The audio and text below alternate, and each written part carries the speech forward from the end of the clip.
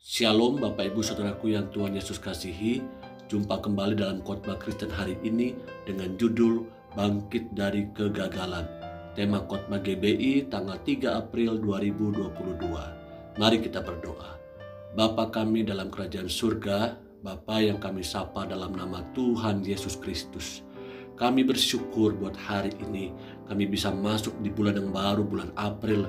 Kami percaya di bulan yang lalu Tuhan sudah tolong kami. Bulan ini pun Tuhan pasti menolong, menyertai, dan membela kami.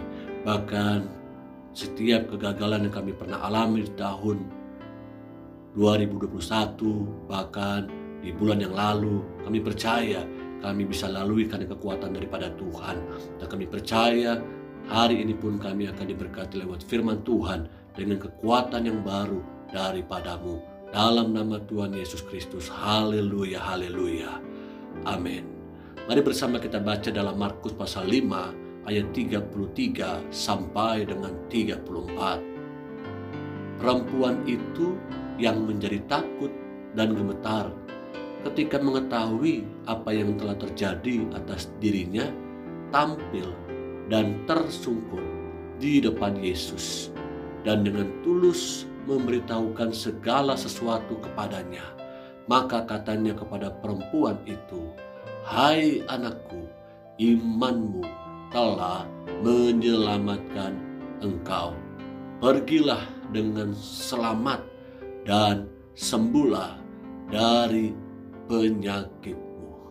Di dalam pembacaan kita hari ini, ada seorang perempuan yang begitu lama menderita pendarahan, sakit yang tidak kunjung-kunjung sembuh. Harapannya untuk menjadi sembuh butuh waktu yang sangat lama. Apa yang dimiliki oleh wanita ini?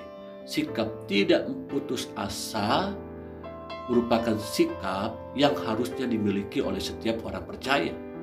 Contohnya, perempuan yang mengalami pendarahan ini dia sudah berulang-ulang kali diobati oleh berbagai tabib, tetapi tidak kunjung sembuh. Bahkan yang menariknya adalah untuk mendapatkan kesembuhan, maka perempuan ini harus menghabiskan hartanya. Dia harus rela. Konteksnya mungkin pada zaman ini tabungannya harus diambil, asetnya harus dijual hanya untuk mendapatkan sebuah kesembuhan.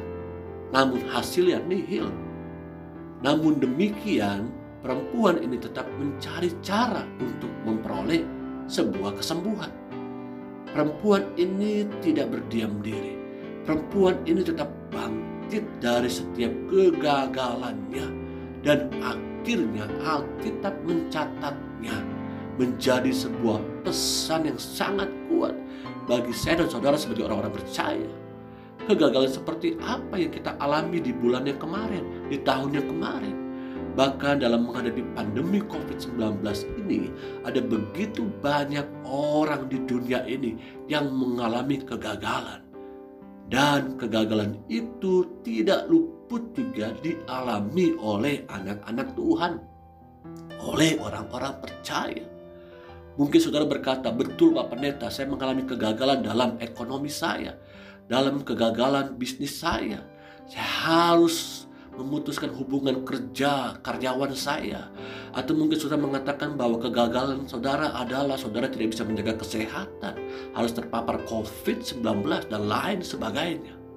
Menjadi pertanyaan buat kita adalah apa yang dilakukan oleh perempuan ini? Apa yang bisa kita pelajari, teladankan dari seorang perempuan ini? Yang mengalami kegagalan bukan hanya satu dua kali atau satu bulan dua bulan tidak tapi bertahun-tahun dia harus tinggal dalam sebuah kegagalan demi kegagalan. Kiranya kita bisa meneladani apa yang dilakukan oleh perempuan ini. Coba kita lihat. Yang pertama perempuan ini tetap percaya akan firman Allah. Markus pasal 5 ayat 27 bagian A dia sudah mendengar berita-berita tentang Yesus. Berita-berita yang selama ini dia dengar dari berbagai macam sumber. Dia tidak hanya menyimpannya dalam telinganya, namun dia menaruhnya di tempat yang begitu terhormat, yaitu di dalam hatinya. Perempuan ini tentunya penderitaan selama 12 tahun. Dia berusaha untuk pergi ke dokter. Uangnya harus habis. Ada peluang yang sangat besar untuk dia mudah menyerah, tidak move on. Namun di saat seperti itu, dia mengingat karena dia sudah mendengar kabar tentang Tuhan Yesus yang sanggup menyembuhkan. Oleh sebab itu, saudaraku, dia bangkit lagi dan memiliki sebuah harapan yang baru. Sudah seberapa banyak firman Tuhan yang saya dan saudara dengar? Sudah seberapa sering saya dan saudara membaca Alkitab? Sudah seberapa waktu lamanya saya dan saudara mendengar firman Tuhan? Mungkin dari YouTube seperti saat ini, dari mimbar gereja, dari kesaksian-kesaksian banyak orang percaya mengalami kegagalan seperti yang kita alami. Pertanyaannya adalah bukan berapa lamanya kita menjadi orang percaya, bukan berapa lamanya kita menjadi orang Kristen, tapi apakah setiap firman Tuhan yang kita dengar, kita langsung melakukannya dan mempraktekkannya dalam kehidupan kita sehari-hari. Itulah yang disebut dengan Kristen sejati, pengikut sejati. So artinya jangan pernah mudah menyerah dengan segala kegagalan yang kita alami dalam pandemi COVID-19 ini. Karena pesan Tuhan sangat kuat supaya saya dan saudara untuk bangkit dari setiap kegagalan. Percayalah bahwa Tuhan Yesus pernah mengalami kematian di atas kayu salib. Tapi dia tidak berhenti di situ. Dia bangkit dari kematian. Dia bangkit dari tanda kutip kegagalan bagi orang-orang pada waktu itu mungkin menganggap mati di atas kayu salib adalah sebuah kehinaan. Itu faktanya. Namun dia menang pada hari ketiga. Membuktikan dirinya bahwa Yesus itu hidup. Amin. Yang kedua, yang dilakukan oleh perempuan ini bukan hanya percaya, tidak cukup menjadi orang percaya, saudaraku, tapi dia berusaha dengan tekun. Markus pasal 5 ayat 26 bagian A katakan, ia telah berulang-ulang diobati oleh berbagai tabib sehingga telah dihabiskannya semua yang ada padanya. Markus pasal 5 ayat 27 bagian B juga mengatakan maka di tengah-tengah orang banyak itu ia mendekati Yesus dari belakang dan menjamah cobanya. It's amazing. Di tengah-tengah kesakitannya, di tengah-tengah kegagalannya, dia terus mencoba dan mencoba, try and try sampai dia mendapatkan apa yang dia harapkan. Ini adalah ciri orang-orang yang sungguh-sungguh mencari Tuhan Orang-orang yang sungguh-sungguh mengandalkan Tuhan, berharap hanya kepada Tuhan, stop berhenti berharap kepada manusia. Perempuan ini memiliki daya jual yang sangat tinggi. Di saat seharusnya dia mudah untuk menyerah begitu saja, justru dia tetap berusaha mencari cara agar penyakitnya itu dapat disembuhkan. Dia tidak mengurung diri di kamar, mengasihani diri, tapi dia mencari informasi yang berkaitan dengan cara kesembuhannya. Bagaimana cara saya bisa sembuh seperti yang saya dengar berita-berita tentang Yesus. Di tengah kerumunan dan pun dia tidak menyerah, tetapi terus berusaha mendekati Yesus. Tantangannya sangat banyak sekali untuk wanita ini, perempuan ini berjumpa dengan Yesus. Karena di mana ada Yesus, di situ ada banyak kerumunan orang. Lihat di sini, dari sekian banyak kerumunan orang, ternyata yang bersentuhan, yang menjamah Yesus sebenarnya bukan hanya perempuan ini. Namun tentunya pasti ada banyak kerumunan orang juga yang berusaha untuk melihat Yesus. Yang menarik sekali lagi di sini adalah di sekian banyak orang ada satu wanita perempuan yang sedang sakit yang terus berjuang untuk bisa menjamah Yesus.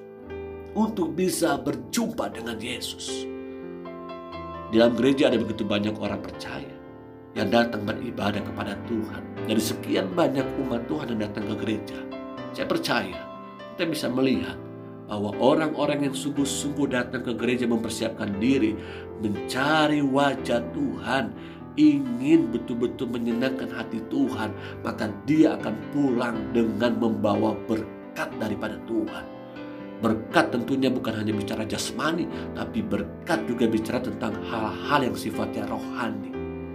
Rema firman Tuhan pujian penyembahan yang dinaikkan kepada Tuhan. Itu yang menyenangkan hati Tuhan. Kiranya setiap kita belajar untuk sungguh-sungguh tekun dan tekun. Ada begitu banyak orang-orang sukses dalam dunia ini. Mereka kuncinya adalah sebenarnya bukanlah skill semata yang dimiliki. Bukannya relasi yang dimiliki saja.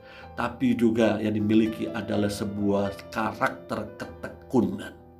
Orang yang tekun akan mendapatkan apa yang dia harapkan, apa yang dia impikan. Demikian juga kita dengan Tuhan. Orang yang tekun mencari Tuhan, dia akan mendapatkannya. Dia akan menemukannya. Bahkan Tuhan berjanji bahwa pencobaan yang kita alami pencobaan biasa yang tidak akan melebihi kekuatan kita. Namun dia berjanji memberikan kekuatan dan solusi jalan keluar. Amin saudaraku.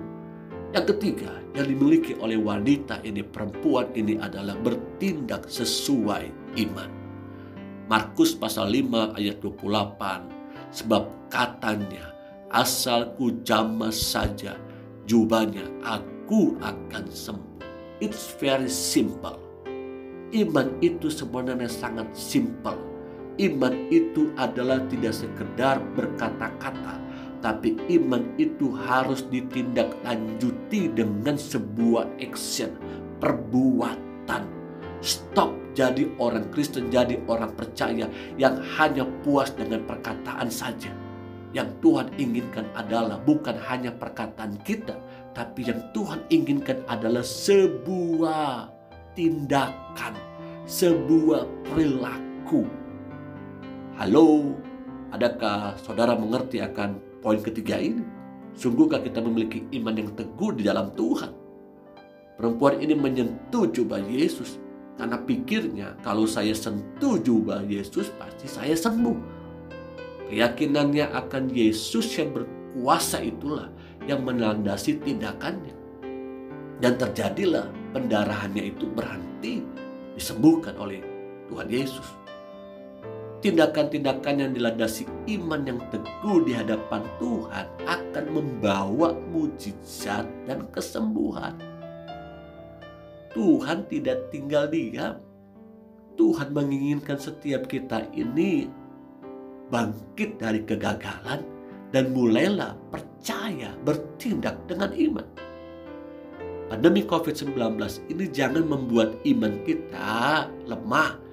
Jangan izinkan iman saya dan saudara tidak bisa bekerja hanya gara-gara pandemi ini tapi jadikan pandemi ini sebuah pembelajaran akademi buat kita untuk percaya penuh kepada Tuhan dan mulai mempraktekkan firman Tuhan.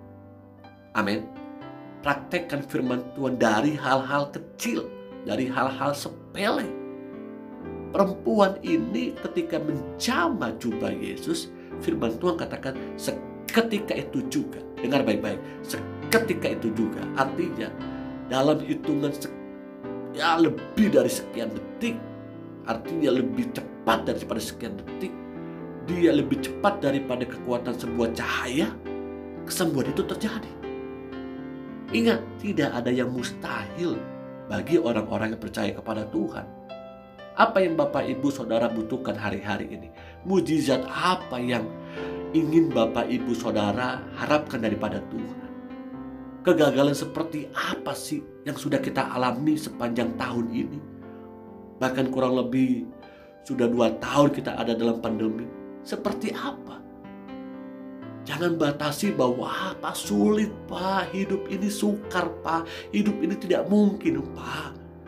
Kalau saudara beriman percaya kepada Tuhan Yesus, maka sesuatu yang tidak mungkin itu menjadi mungkin ketika engkau melibatkan dan mengandalkan Tuhan. Amin. Serahkan segala kegagalan kita, serahkan segala ketakutan kita, kekhawatiran kita kepada Tuhan. Ketika saudara berdoa dan beriman kepada Tuhan, mulailah melangkah dengan imanmu kepada Tuhan. Iman adalah dasar dari segala sesuatu yang kita harapkan dan bukti dari segala sesuatu yang tidak pernah kita lihat. Iman timbul dari pendengaran akan firman Tuhan. Ingat baik-baik, beri waktumu hidupmu penuh hanya untuk firman Tuhan saja. Dan lakukanlah itu. Izinkan saya berdoa buat Bapak Ibu Saudara di mana pun berada. Bapak terima kasih buat firman Tuhan hari ini. Kegagalan yang kami alami biarlah itu tidak menghambat kami untuk penuh berharap dan melakukan firman Tuhan. Tolong kami Tuhan. Hamba berdoa buat mereka yang sakit. Tuhan sembuhkan. Mereka yang mengalami kebutuhan ekonomi Tuhan cukupkan mereka yang mengalami uh, begitu banyak kepahitan dalam hidup ini Tuhan berikan kehiburan berdoa turunlah berkat kasih karunia Allah Bapa. Cintanya lewat Yesus Kristus putranya. Pertolongan penghibur roh kudus menyertai hidup kita bersama hari ini sampai selama-lamanya. Yesus datang kali yang kedua. Haleluya haleluya. Amin. Bagikan firman Tuhan ini kepada saudaramu, kepada keluargamu, komunitasmu, gerejamu, biar mereka semakin kuat di dalam Tuhan. Amin.